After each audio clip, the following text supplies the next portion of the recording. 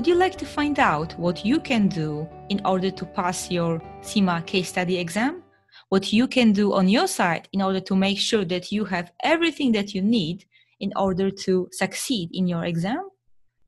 Well, in this short video, we are going to talk about what you can do in order to increase your chances of succeeding in a case study exam. Hi, my name is Justina. I'm from Practice Tests Academy, the number one tuition provider for interactive and intuitive practice tests for CIMA OT exams. For the last few sittings, we have been also offering management case study um, resources. And I'm very happy to announce that starting from November 2017, we are going to even further increase our offer to support strategic case study students. Now, I think this is really the best time to rethink our approach towards how we as a tuition provider can support CIMA students in the best way.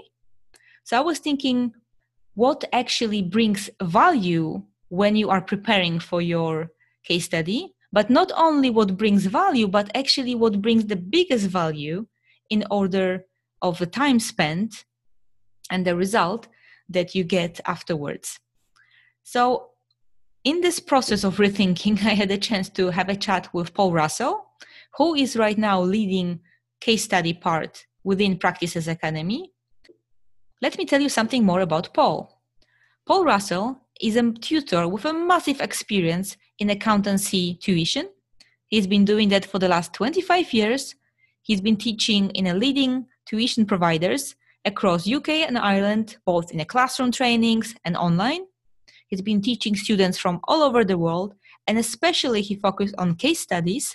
That's why he right now he's uh, our leading tutor for case studies, and he's leading that part within Practice Tests Academy. He has convinced me that his approach is totally unique, it's different, and I would even dare to say it's revolutionary. And I hope at the end of this video, you're going to have the same impression that his teaching methods are far better than anything that you can find anywhere. Paul, so what do you think? What differentiates you from any other tuition providers? Um, I think a couple of things, um, Justina. Um, I think that for students sitting case study exams, they have you know so many different choices, don't they? Um, and I think for case studies, the difficulties since the uh, case studies were introduced at the beginning of 2015 is that there's quite a lot of confusion um, in relation to what is the best approach. I think different tuition bodies uh, will tell students different things. And really, what I've done since the uh, introduction of the case studies at, uh, at, the beginning of 2015, I've really studied uh, very, very carefully uh, uh, the background to the case studies. In other words, why that they were introduced, and indeed what the examiner is testing. And uh, really, what makes me different, what makes us different, and, and what will make our, our approach different this time round in November 17 is really that our approach is going to be based not so much on looking at the three subjects and the pre-seen and moving from them towards a passing script. Our approach is going to be based on, on actually the reverse because I firmly believe, and I've had a lot of success in classes uh, traditional classes with lots and lots of students and also with one-to-one students. My pass rates are very, very good. And the approach that I've used is what we need to do is we need to start with the passing script first and then move towards the content of the three subjects in the pre-seen rather than in the reverse. So really my approach is to try to get the students to understand, and we'll be talking about this in the master classes, exactly what are CIMA testing what do they want you to produce in a good script? And unfortunately, I feel that, um, and if you if you look at forums, if you, if you speak to student resitters, for example, you'll see that many of them, most of them, will have the former approach. In other words, their emphasis is not on how do I produce a, a passing script. Their emphasis is on perhaps the three uh, uh subjects you, you, know, whether or not it's E2, P2, and F2, and I think that's incorrect. And uh, unfortunately, this is, uh, if you will, this approach is peddled by some institutions in the UK and indeed beyond. So I think the main thing, in a nutshell, uh, as to the difference between how we're going to approach it uh, this time around and how other tuition providers approach it is an understanding of what a passing script means. Okay, so let me give you a just a quick example of that. Okay, okay. Um, if you look at the examiner's reports for any of the case studies, in particular the strategic case studies, one of the things that you'll see constantly repeated and what annoys the examiner is that the students don't answer the question. Okay? And, you know, let's think about it. I mean, this is a professional, high level uh, qualification. If you're in the office in real life working, and if your line manager says to you, I need you to do this and this, if you don't actually do what your line manager asks you to do, then your line manager is not going to be very happy. And unfortunately, it's the same in the exam, Justina. What they're testing is can you, in a pressurized environment, when you're stressed, can you deal correctly with the requirement that you've been asked? Now, if you don't understand what the requirement is, if you haven't practiced mock exams, etc., or if you're thinking about knowledge dumps, if you're thinking about wheeling out some topics from E2 or P2 or F3 or P3, you're not going to get a pass in that particular task and you're not going to get a pass overall. So, um, a little bit of a long, long-winded answer, uh, uh, Justina, but that's for me at the core of what we're going to do differently this time round. Yeah, we're going to make sure that the students understand what a passing script involved involves, and we're going to ensure through our marking service uh, and indeed the master classes, we're going to enable the students to hone their skills so that on the big day, on exam day, they're actually going to have a much better feel as to what they're needing to do line by line, paragraph by paragraph, and page by page. Mm-hmm. And having marked, um, uh, Justina, so many MCS and uh, SCS scripts over the last couple of years, I can tell you that that is at the core of success or, or indeed failure. This is why students fail case study exams. Absolutely categorically. Does, does that make sense to you? Yes, of course.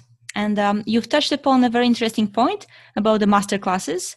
Mm-hmm. Um, this is going to be an interview uh, for case study students so we don't want to do too much selling however mm-hmm. I'm, I'm pretty excited i'm really excited about the fact that we are launching the master classes and what you just mentioned about um, what students usually do what's their typical way of preparing mm-hmm. and how to change that approach and focus on the right things and what to do in order mm-hmm. to increase your chance of passing is actually at the heart of the master classes. So can you maybe very quickly tell us a little bit more about master classes? What's the main point here and why are they different than any other master classes that people can attend online Okay, okay. I mean, I, I, I take your uh, I take your point about uh, not selling. Maybe we could do just a little bit of selling, but I'm, I'm not here to um, I'm, I'm not here to sell, sell, sell in this uh, interview. Um, what I would say is this: I think that um, you know, in terms of the two master classes that we have available, we have a master class one and two, one just at the start, and one, excuse me, just before the exam. I think in terms of uh, the content and the difference between those two classes. Let me deal with the first one first, if I could, okay. Christina. Um, you'll see from our website um, the detail. In other words, the main core elements within the class. And it's pretty comprehensive in my view, and, and, and probably better than uh, some of the uh, uh, uh, uh tuition that's available um, outside of Practice Tests Academy essentially what we're trying to do with masterclass one is really kickstart students in their sort of uh, journey towards mcs or scs success. So the really the essence of the masterclass masterclass one is whether or not you're going to attend masterclass two and we would encourage you to do so. But masterclass one can be if you will um, uh, standalone and that's supposed to give you a very, very good feel very, very quickly about uh, uh, items such as what's the case study about? But why did they introduce it? how do you use the pre-seen? How should, how should you use our mock exams? You know, what you should be doing in relation to the industry and indeed your industry analysis. And then we have several products that are really, really going to help you in that respect. But what I would say, Justina, and you'll know this from your own experience of, uh, of doing your CIMA case studies, is that for me, there is a big, big caveat, yeah, a very big uh, warning about this whole area, for example, of the pre-seen, yeah, and indeed the industry. Now, obviously, researching this, the industry is important, and as I've mentioned, we have products for that.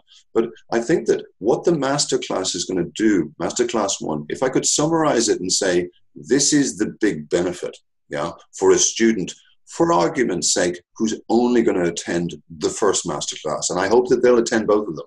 Um, but let's just say that they only wanted to attend the, the first one, and that's all that they could afford. I mean, you know, we all have our budgets and uh, uh, cash flow issues, etc. What that masterclass is going to do is give them a good understanding of the big picture and make sure, most importantly, that they do not spend six or seven or eight weeks or thereabouts expending effort on areas that are complete waste of their time. And again, going back to my point about students being uh, misinformed uh, with respect uh, about uh, case studies, is that this is another area that students fall down on. In other words, for me, this passing the case study, whether or not it's the MCS or, or, or the SCS, is about are we doing enough of the right activities in terms of our time? And are we lessening or making sure that we're not doing a lot of the, the wrong activities. So, really, what the masterclass is going to do is to jumpstart a student's approach to the case studies and make sure that they understand the fundamentals and that they understand what they need to do to have success. In terms of masterclass two, slightly different because obviously masterclass two is just off the main exam. And what we're looking to do there, it's obviously a revision masterclass. We're hoping that students will arrive at that masterclass having done a significant amount of good work. Now, this second masterclass is going to be intensive. It's going to be intensive. It's going to be fast. And the focus of it really is, you know, what have we established from uh, the performance of students in the mock exams? In other words, what are students doing well and what are, they, what are they doing badly? And that second uh, uh revision masterclass is really going to give students a real bump towards success, not only by looking at the mock exams, but also by honing in on what are the key problems that students are facing in relation to this particular pre-seen. Does, does, does that make sense? Yes, of course. Because in my opinion, also the quality is very, very important, and I think that students have been misled or have a little bit different, or maybe not 100% correct approach towards preparing. And I know that from my own experience, since I passed SCS exam uh, a while ago, mm-hmm. that we tend to start basically doing things in the wrong way. Mm-hmm. Um, and by saying that, I mean preparing, revising the materials, and then afterwards, you know, spending a lot of time on pre-seen and industry. I'm not saying they are not important; they are. Mm. However, you know, when you spend a lot of time here and there, then you don't have enough time to practice the mocks or review past exams. And I think this is what makes it really uh, the most beneficial for for CIMA students and what actually can make them make the difference between failure and pass. Exactly, exactly. I think much of what we've said so far, Justina, uh, is about this whole issue of reverse engineering. Um, you know, the idea that it's incorrect, as you've just said, to actually consider. Let's take the SCS, for example. You know, it's incorrect to say and this is often what certainly resit students that I've come across will say, is that the, the first thing that we should be doing, or the first thing that a student should be doing when they start preparing for the SCS exam, is getting out the three texts of the, the strategic level subjects. In other words, that's what students will do. That's what they tell me. Particularly resitters. You know, I uh, I haven't sat P3 for 18 months. So what I've started doing and what I'll be doing for the next two weeks is studying my P3.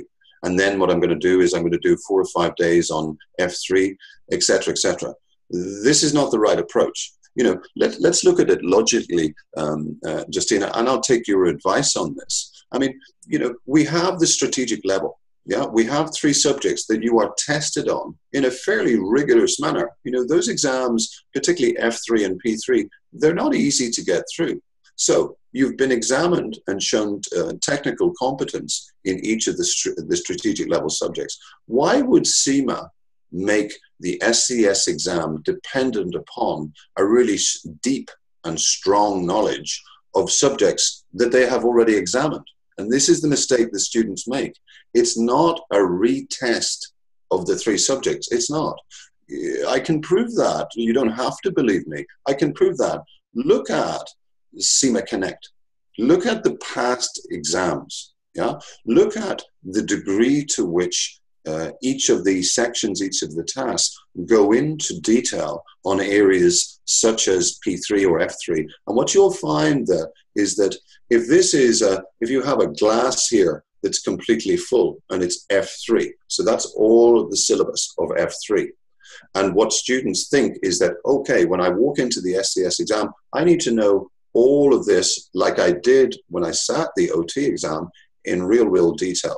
That's not the case. What you'll find in terms of this class is that they probably test around about 20, 30%. So they go into a little bit of detail, but they don't go to all the way to the end of the class. So by, by spending a lot of your time studying, restudying all of the three subjects, you're wasting time. What you should do is you should be looking at mock exams, you should be practicing, and you should be attending good quality, high end tuition to get advice from experts.